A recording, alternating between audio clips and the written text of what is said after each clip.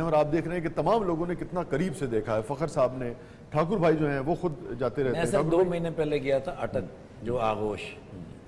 अच्छा जब मैं एंटर हुआ ना जी तो वो जितने बच्चे थे वो जब मेरे साथ ऐसे चिपके ना जी जुड़े मुझे थोड़ी देर के लिए लगा मैं इनकी अम्मी हूँ। अच्छा थोड़ी- वाह, वो थोड़ी देर के बाद जब हम खाना खाने के लिए बैठे तो मुझे ऐसे लगा जैसे वो मेरी अम्मी है।